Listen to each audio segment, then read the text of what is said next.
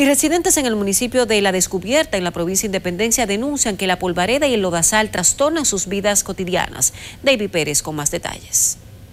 A gritos, moradores del municipio de La Descubierta piden la terminación de sus calles. Que se apiade de esta comunidad, que ya nos tienen cansados con polvo, cuando no es mucho polvo, es mucho lodo. Y van a paso de tortuga. Nos vienen, se, trabajan dos, dos o tres días, se van y pasan 15 días o dos semanas y más para volver a hacer. Viven hollando, hollando y tapando, hollando y tapando, pero nunca terminan.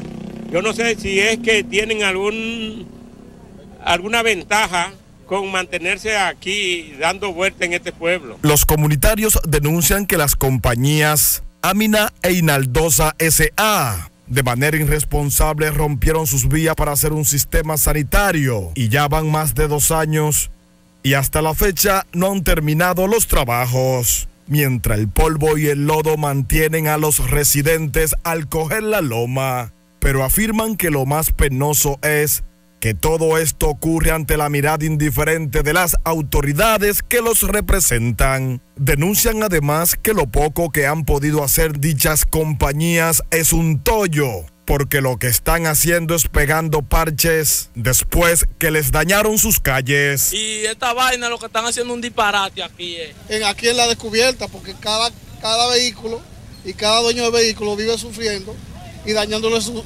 dañándosele su vehículo. El secretario de Obras Públicas que está trabajando bien, pero que mande a esa gente a, a terminar esta calle aquí, que, que Descubierta se merece un arreglo. Así que nosotros aquí ya no encontramos a quién llevarle la queja de esos asfaltos que están poniendo, pues están totalmente mal. Desde el municipio de La Descubierta, en la provincia de Independencia, David Pérez, NSDN.